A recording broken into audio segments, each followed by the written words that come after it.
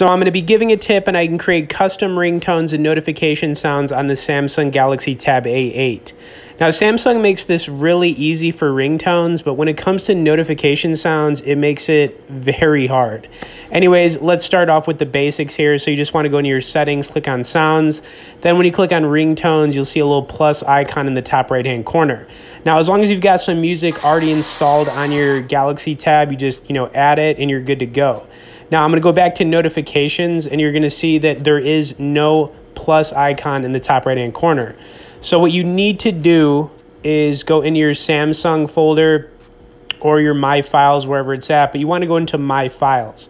Now, after you do this, you got to, you know, find the song that you want to add in your notification sounds, hold down on it, click Move, and then you need to click on Internal Storage find the notification folder and then move it into the notification folder. Okay, so there are a lot of steps, don't get me wrong, but that will do the trick. So now I'm to go back into the settings so you can see it actually moved the song there. And you have to do this individually for any, you know, uh, music you want to put in your notifications. Okay, boom, it's at the top right here. You can click on it and then you're good to go.